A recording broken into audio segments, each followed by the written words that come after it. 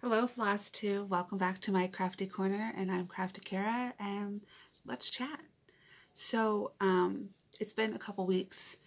Um, it's been a little crazy as usual around here. Um, probably because of Monday just didn't go as I planned. But anyways, um, my son's track is over. He just finished it last night. He's placed in almost every single meet that he was in. So it was really successful um, season for him for being a first year sixth grader when their seventh and eighth graders were much taller and bigger than him. And um, yeah, I'm really excited for what he can do next year. Um, of course, we're wrapping up school almost. We have a couple more weeks. So things are getting a little crazy and I would love to participate in Stitch Maynia but unofficially, I'm not doing a whole lot. Uh, if anything, I'm kind of doing a WIP mania because, um, yeah, I just have things I want to finish. So, but let's move on to my one announcement that I have. So, okay, a couple weeks ago when um, Keepsakes announced that they would have the waiting list open for StitchCon, I thought, okay, here's my chance to at least try and see what I can do. And I mean, as soon as that 9.30 hit that Saturday morning, I put my name on the wait list and was just kind of crossing fingers. And later that night when me and my husband were at dinner, I got the notification that it was my time and that I could pay and go. And I was over. I was just ecstatic. Um, so I took a couple days to make sure I could make uh, some proper arrangements and I paid it. So I'm going to StitchCon weekend B. I was going to say weekend two, but weekend B, which is what the 17th to the 20th. Don't know exactly what days yet because I may or not be able to do all four days, but I'm trying to figure out. Um, I'm just excited because this is my first time with any stitching retreat, any really my first solo vacation ever because this would be a good opportunity for me to recharge without the kids or the husband. So um, I'm looking forward to all kinds of things. I'm, I'm in the group, but I'm trying to figure out what I'm supposed to bring, what, you know, others are bringing, what not to bring. I did see uh, Stephanie share the Facebook, or not Facebook, um, YouTube video that the governor of Ohio has lifted the mask mandate. So I'm thrilled about that. I will still, of course, bring mine, but I would love to see more smiling faces if possible because it just just makes the experience better, I think. So I'm looking forward to that as well. And I'm hoping to meet many, many of any of you who are going. You know, if you are going and, um, you know, you can drop a, drop, you know, your name or link below and let's chat. Um, speak, speak, especially for weekend. Um, moving on, my finishes. A lot of the finishes that I have, I've already given away because a couple weeks ago that was Teacher Appreciation Week. I had know I've shown some of them on here, but if you want to see those, go to my Instagram, crafty.kara, um, where I was sharing a lot of those um, because I wanted to make sure I had a good uh, record of what I finished. Uh, but they've all been given away, including a little pouch that um, I stitched on. I was going to give it to that teacher, but I didn't want her to have to do it on her own because she had mentioned that she cross stitched before, so I almost let her do it. But it was really cute, and so I give gave away one to a second grade teacher, one to a former first grade teacher last year. Because of the pandemic, we didn't do much with uh, gift giving last year, and um, uh, two. My son has two preschool teachers, so I've given out four gifts this year. Um, plus, I gave goodie bags to the classroom helpers, uh, my son's preschool, so it was a lot of fun. Um, now let's go on to. And let's see if I can do these quickly. This one, there's not much to show you. It is the Just Another Button Company's um, Stitch Every Holiday, and this one was No Housework for April 7th.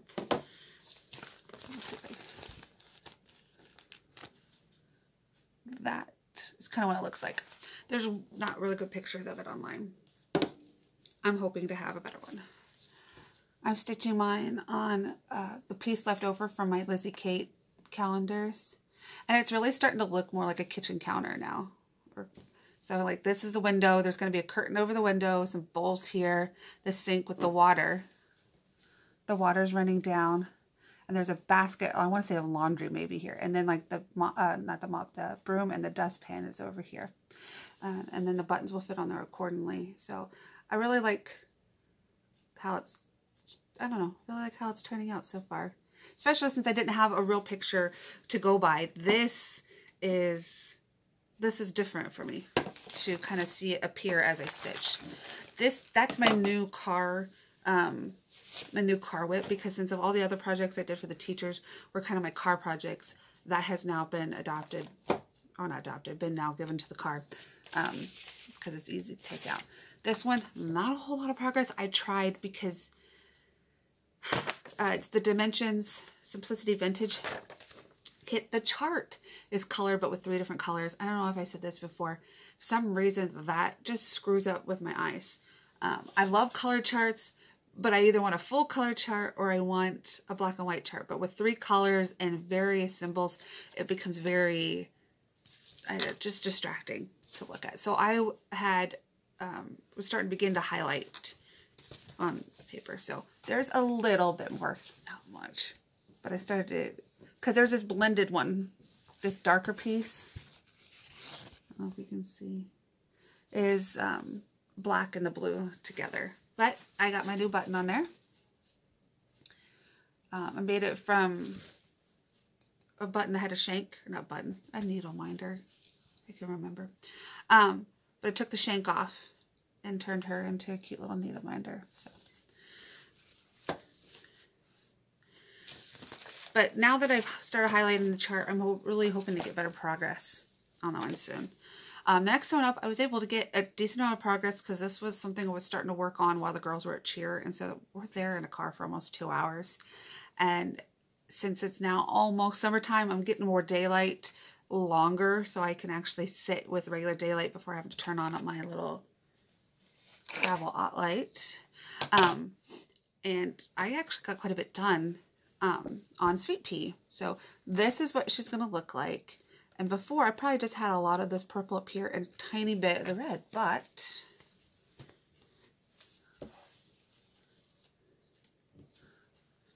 that's where we are right now. This looks really good. See if I can fold it up just a little. So I've got a lot more down in here done and started in her bodice here, the shading. But I kind of take one color and I stitch as much as I possibly can with it. And then I pick another color so that way I'm not going too far out. But she's really starting to take form. So, and I still love it on that blue. So those were really my other WIPs other than my finishes um, that I had these last couple weeks. Um, yeah. So other crafts. I just realized I did that last time. There is another craft that you can see, I think I have this picture on Instagram.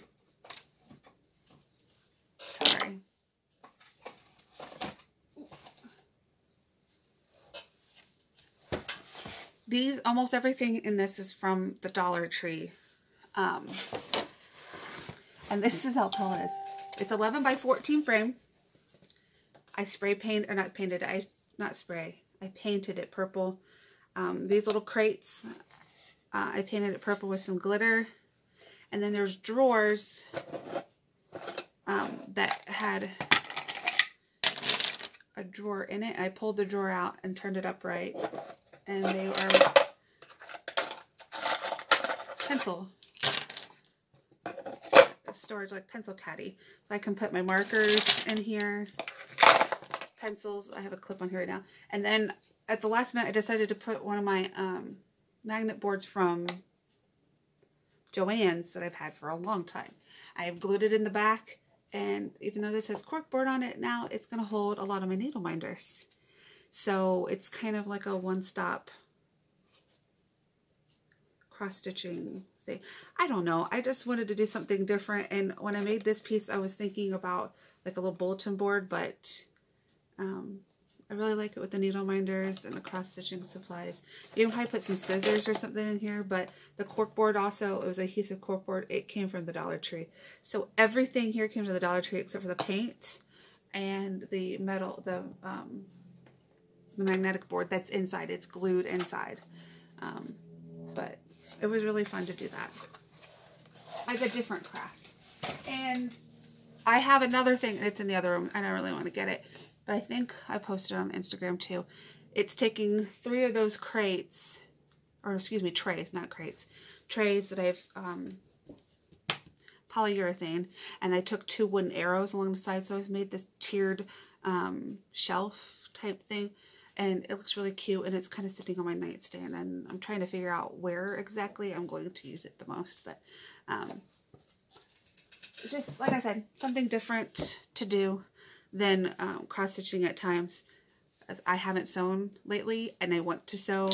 It's just been too crazy to pull out the sewing machine. But speaking of that, I'm going to move into haul because with my sewing machine, I don't have a lot of space um, or dedicated space. but when I want to sew, my sewing machine is just kind of, you know, it's a regular sewing machine. I went to Sew Steady. It's a little dusty. I don't know if you can read it. Um, and they make acrylic um, extenders for almost any sewing machine. I plugged in my sewing machine model number and I got this and it comes with, you know, feet that have adjustable uh, screws in them so you can change that. I love this. I haven't officially used it with the sewing machine, but I got it all leveled out and it's ready to go. So it should give me a really smooth process of of sewing, especially when I want to make some project bags and some other things. So, um, just realized I had this bag tied. I'm just going to cut it open so I don't make as much noise. Now, the rest of this haul was actually just acquired in the last couple of days. I might have showed these to you before, but I'm not sure. These little chalkboard um, I think they came from Dollar Tree or Dollar General. And I'm either going to write on them or you can put a little small cross stitch in there and glue it or glue it or, you know, paste it in there. So I thought those would be really cute. I finally found some of those um, blocks from Michaels that Priscilla and Chelsea um, talk about. And I like having the different colors. And when you cover the front, you already have a decorated side. So I purchased all of them. So I've got the light blue, which was Let's Cook. The green was Holy Guacamole. The red is Bless This House. And the dark blue was My Kitchen, My Rules. Right? Yes. Um, and I got them on sale. They were 40% off. And they are sturdy. I mean, they're all the way through. So I have those. I like, I have some options him.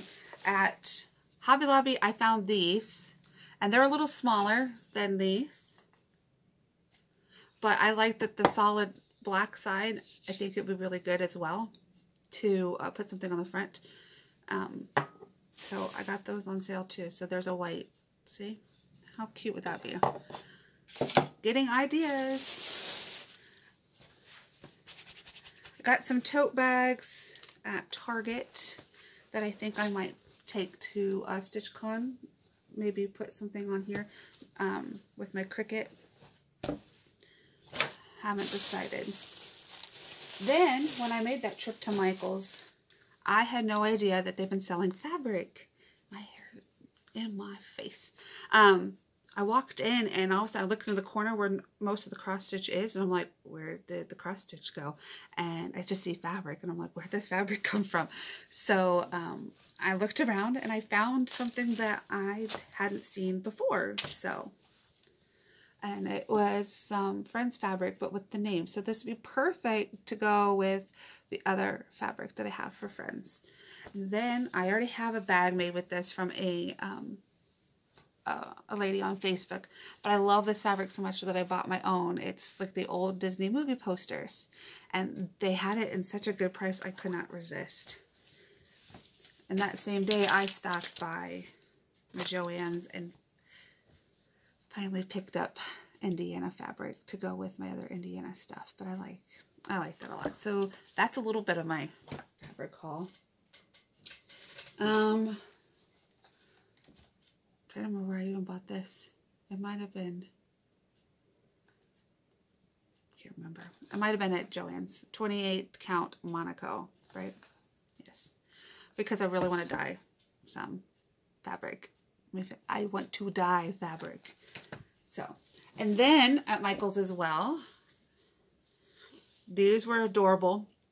And I thought they would be perfect in my little basket um, area. I can trim this down and they would look like little fireworks um, for the summer. So, could not resist. And then I found another deal on Facebook, going through the Facebook Marketplace. And this is something I kind of always liked and wanted a little bit, um, but wasn't willing to pay the price. This I got for over half, less than half of what it went for retail. I got Stitchopoly made by DMC. This is so adorable. I had to open it. It's just because it came completely brand new, sealed, wrapped. Um, see if I can turn it around here. So it really is just like a Monopoly. It's so, I mean, my my husband kind of laughed at me, but then my son and I were looking at this because he's making a Monopoly game for his school project with Hunger Games. So we were using this to make, uh, to talk about some things, but um, of course you get the money. I mean, the whole idea is that you're going to start stitching and then you get to buy these stores or uh, properties to build stores and then there's class fees that you have to pay or hoop and, and fabric. And then you can either go shopping or have a needlework stash, which are like your um, take a chance type cards. And it's just, we haven't officially played it, but we looked at all the pieces and those are actually what I was really excited about. All those tokens. So you have a bobbin, the hoop, uh, the thread cutter, scissors, floss, and a shuttle. So I, I'm just a total geek over having that, trying to find a place to get it out of my way. Uh, and it's in a purple box, so. Then I went to Walmart for looking for something. I can't remember what it was now. And so I went to one out of town to see if they had, oh, I know, some cute little leggings that nobody had. Um, and the store I went to down around Indianapolis actually had their Americana fabric out. So I had to buy some.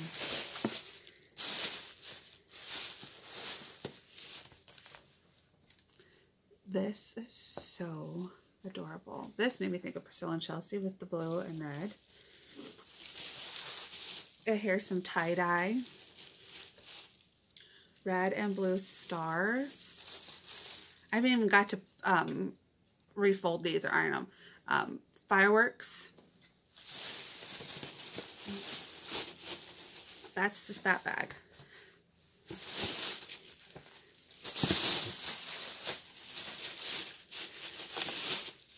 This is a different brand, but um, a blue paisley design. And then blue with red bandana kind of print. Um, blue with fireworks. A red bandana print. Um, little stars with striped waves. And then this kind of quilt. I mean, to me, it reminds me of a quilt. Like stars and stripes in a block kind of look. And I think that's a little bit of everything in there. But I bought a couple of everything. As I have so many ideas, I just got to do it. I bought so much that I took the box home. But when I went to the clearance aisle, which I just happened to walk by,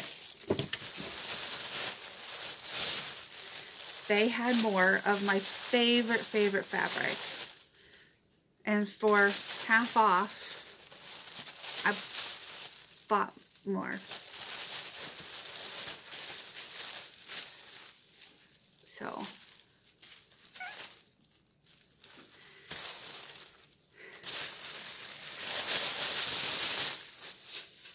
so yeah, I have enough fabric to keep me busy for a while. I just wish I had more time. Um, and yeah, and the kid's going to be out of school soon, the next two weeks. So I don't know where my time's going to go. Um, but I can't wait to go to StitchCon. I, um, I'm, I, I think about it every day. I mean, is that just corny and silly? I don't know what projects I'm going to take. I might take a new start. In fact, I might take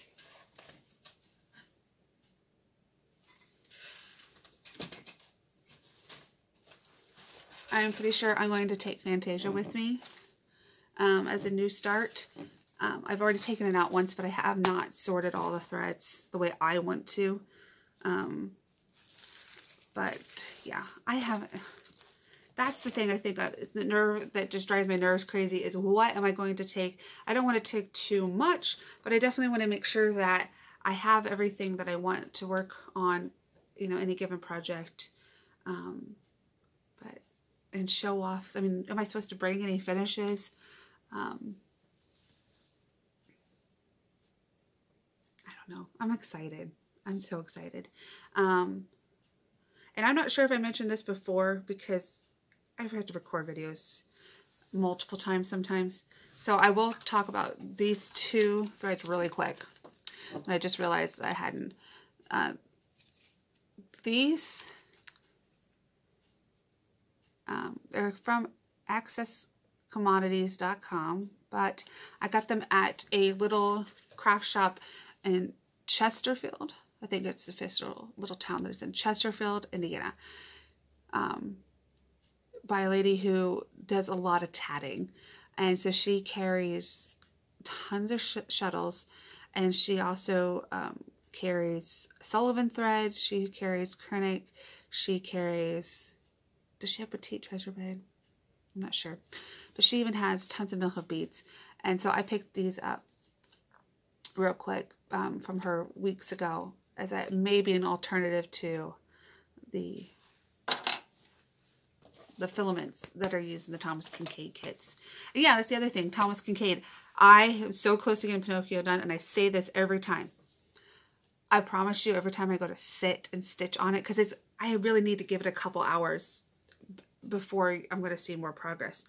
Um, a phone call happens, or my plans change for the day, and I do not get to sit down that long on that project. Um, that's why these others have progress on him because they, they get to go in the car. He can't go in the car. Pinocchio can't. So, um, but I'm not putting him away until he's done. Um, but again, thank you for watching and hanging out with me on this Friday afternoon. Um, if you want to follow me on Instagram, uh, I will try to put the link below. If you have any questions, comments, shout outs, whatever, just let's, like I said, let's just let's just chat. Like I am so ready to to dig more deep into crafting of all kinds, but cross stitch will always be my um, my priority.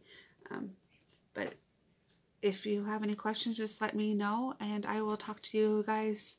Um, hopefully in another couple weeks. Um, but I hope to see you guys at StitchCon too. So have a good afternoon. Bye.